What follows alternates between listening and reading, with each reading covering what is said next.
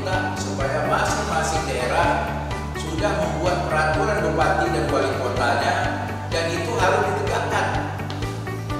Tidak pakai masker, kemarin waktu itu dicontohkan di Jakarta pakai masker 250 ribu.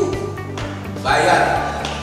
Dan pelaksananya Satpol PP nanti didampingi oleh dari polisi dan tentara. Dan itu jelas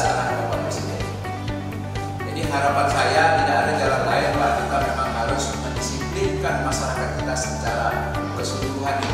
lalu kita ini bagaimana